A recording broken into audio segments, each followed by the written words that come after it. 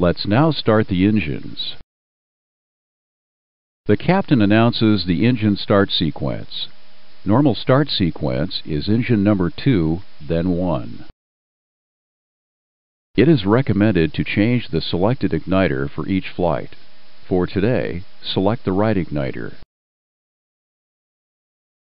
Move the number 2 engine start switch to ground.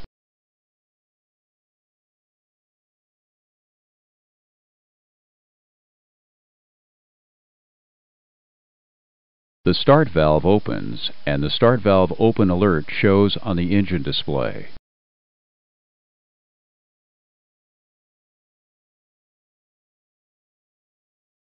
As the starter motor turns N2, the N2 indication starts to increase.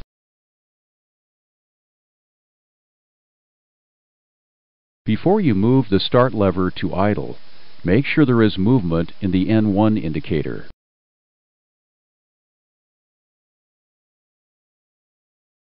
And N2 is at 25%. Or at maximum motoring and a minimum of 20% N2.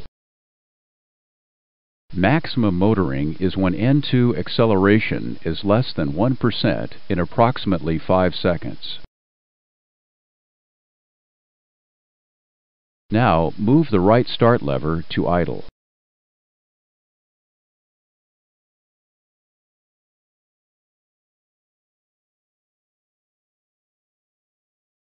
The fuel flow indication starts to increase. Within 10 seconds after the start lever is moved to idle, the EGT indication shows an increase in temperature.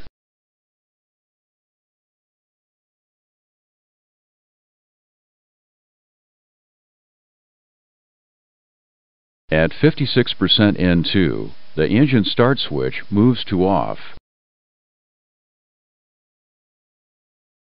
The start valve closes, the engine bleed air valve opens, and the start valve open alert extinguishes.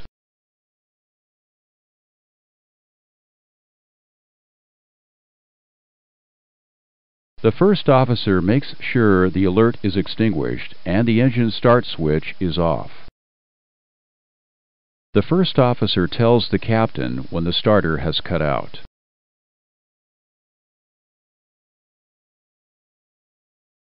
If the start switch does not move to off automatically, the captain moves the switch to off. An increase in oil pressure must occur before the indications are stabilized at idle. The first officer tells the captain when oil pressure increases. You must monitor N1, EGT, N2, and fuel flow indications until they stabilize at idle. When the engine indications are stabilized at idle, the other engine can be started. Let's start engine number 1. Move the number 1 engine start switch to ground and monitor engine number 1 indications.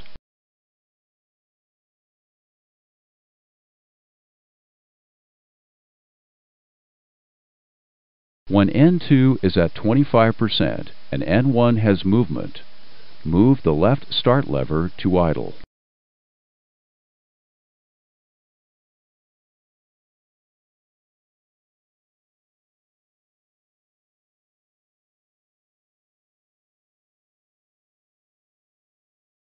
Monitor the start until engine number 1 indications are stabilized. Remember, the first officer informs the captain when the starter has cut out and oil pressure has increased.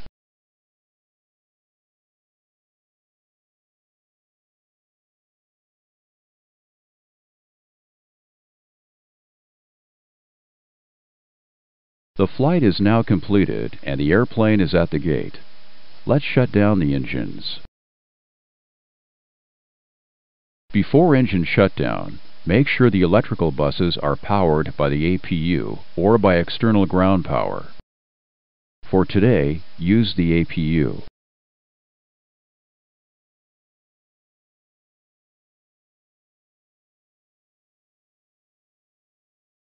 Now move the engine start levers to cutoff.